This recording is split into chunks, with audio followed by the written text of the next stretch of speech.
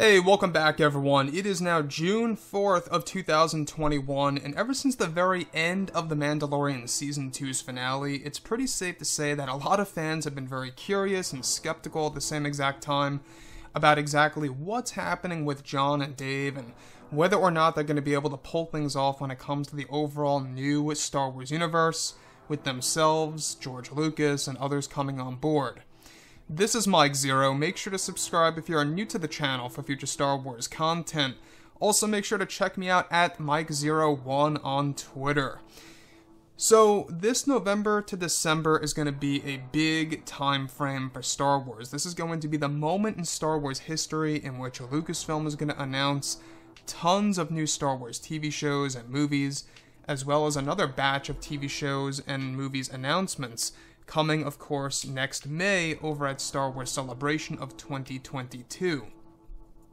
Now, given that Jon Favreau and Dave Filoni, they are actively working on shows like, of course, The Mandalorian, Ahsoka, and others out there, they really are putting all of their time and energy into Star Wars. They're basically dedicating their lives to fixing Star Wars as a whole. In fact, it's one of the main reasons as to why Jon Favreau even came on board of Star Wars was to fix the damage done by The Last Jedi and director Rian Johnson. It's one of the main reasons as to why we got Luke Skywalker back in the mix for Mandalorian Season 2's finale. I want to focus on Brie Larson. There's been a lot of things happening behind the scenes over at Lucasfilm involving Brie Larson, and what's happening with, of course, other TV shows that have been connected to the Acolyte TV series. Now, we discussed this lightly a couple of weeks ago, and it is now fully progressing and developing very well. Of course, Jon and Dave, they recently got promotions, they're making a lot of big changes over at Lucasfilm for the better, and this only shows us a light at the end of the tunnel here and something to look forward to. So, without further ado, what's really exciting is that given that both Jon Favreau and Dave Filoni are actively developing their new Star Wars universe, it's described that they are both invested in also bringing back tons of Star Wars legends into the mix.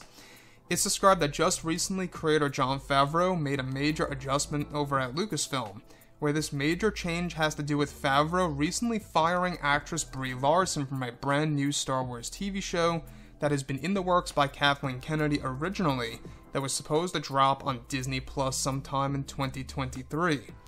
It's noted that this was going to be a show featuring Brie Larson's Maeve character from the Acolyte series to get her own TV show, and that Brie was recently fired from the project by Favreau, given that she was being overly demanding with that show. However, Brie is said to still be attached to the Acolyte series as of right now, where initially it was thought that Brie Larson was going to be a part of a show connected to the Mandalorian series, However, this is absolutely not the case, and that the only show that Brie Larson was fired from was the Maeve solo Star Wars TV series that was going to be in lifelike animated form for Disney Plus, period, the end. Now, this major decision by Jon Favreau was done just a couple of days ago in order to finalize this major choice by the higher ups over at Disney as well. Kathleen Kennedy behind the scenes is said to be very angry with Favreau for making this big decision, and that by contract, Brie Larson is set to stay in for the Acolyte series, and that Favreau unfortunately has no control over that. Now, Brie's character Maeve was going to actually have her own TV show focusing on the creation of her from the Whills, who was also going to be a major part of the series, and that Kennedy wanted to create major retcons to the actual Star Wars TV show that would actually erase many parts of George Lucas's philosophy of Star Wars. Now, about this show, is that Kathleen Kennedy actually wanted to rewrite the overall legend of the Whills. They are basically deities, if you will. They are godlike beings that created the Star Wars universe overall. I want to go over this big project that was recently canceled and how Brie Larson was fired from the show because she was being overly demanding. Jon Favreau made this big decision to finalize all of this just a couple of days ago. Keep in mind that this is the actual show that she was let go from, and it was not a TV show related to The Mandalorian in any way, shape, or form. This was actually a show connected to the Acolyte TV series, so completely different. So, the truth about all of this is that though Brie Larson was fired from this show, She's still attached to the Acolyte TV series, unfortunately. As I've said this before many times in the past, that actual TV show, I believe, is going to be a disaster, sadly. It's going to be Batwoman 2.0, as I like to call it, because it's going to be driven by, of course, identity politics and real world issues and Kathleen Kennedy's agendas being thrown in there. It's just not going to work, sadly. Now, this is, of course, all thanks to Jon Favreau and Dave Filoni getting their promotions over at Lucasfilm for making this major call. And I gotta thank Jon Favreau for making the right choice. We went over the truth of Mara Jade uh, about Brie Larson a couple of days ago of how she's not actually becoming Mara Jade, that's actually Karen Gillan getting the role, but that Brie Larson actually auditioned for the role of Mara Jade and was declined by George and Jon Favreau. This does speak volumes because it tells us that Brie is not really looking all that bright by some of the more experienced creators out there. And it could be one of the main reasons as to why Captain Marvel 2 is called The Marvels. As far as we know so far, you know, it could very well not even have Brie Larson as the main main character in that movie, but I digress.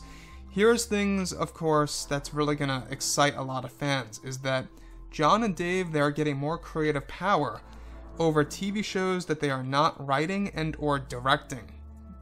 Let that sink in for a moment. Both Jon and Dave are getting a lot of creative power over shows that they have no affiliation with. They don't eh, that that not that they're not writing or directing, whatever it may be, producing over at Lucasfilm.